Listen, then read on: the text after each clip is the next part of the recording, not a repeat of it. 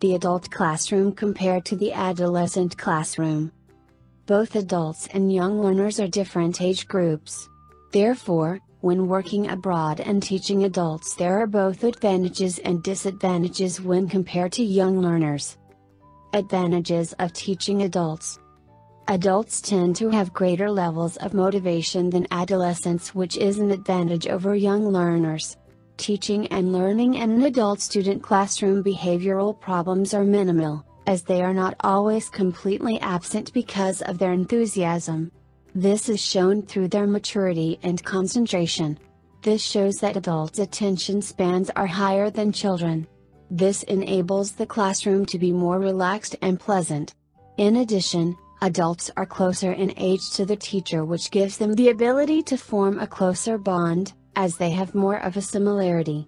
This results in the teacher and students having a closer bond than young learners and teachers.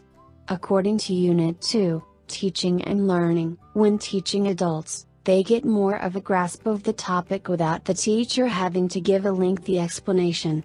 This is the opposite for young learners, as they do not have prior knowledge and life experiences like young learners. Disadvantages of teaching adults. However, there are disadvantages when teaching adults compared to young learners. Adults have greater life stresses and responsibilities in life on top of studying. This can cause problems to arise in classroom discussions. According to Unit 2 colon teachers and learners there are more personal issues discusses in the classroom of all adults.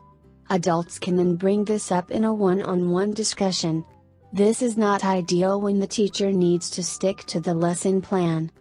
It is stated in Unit 2, teachers and learners that when adults are in different groups and management levels adults can be more self-conscious. This can be a result of some adults having difficulties adjusting to being a student again. Whereas young learners don't need to make this adjustment. Adults may be learning in everyday life, which means when they are in a classroom, it is quite a different experience for them. If adults are working full time and also studying English, this can cause them to be quite stressed and anxious. However, young learners can just focus on the business English course, without job responsibility. Adults may want to come home and rest instead of going to the business English class. In addition, they might have a work meeting that makes them unable to attend the business English class. This is not ideal, as they will get behind in their work and miss crucial information provided in the class. To prevent this from happening, a planner could be used, so that the adults are organized. This is something young learners don't have to worry about. Are you ready to teach English to VADIS age groups?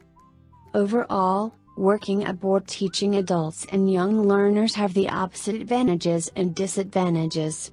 These can be seen when comparing both groups. When teaching young learners, they tend to have less stress and responsibility than adults, which is an advantage. However, when compared to adults, they have a lower amount of care, which is a disadvantage. Therefore, both age groups have separate advantages and disadvantages. Speak with an ITTT advisor today to put together your personal plan for teaching English abroad. Send us an email or call us toll free at 1 800 490 0531 to speak with an ITTT advisor today.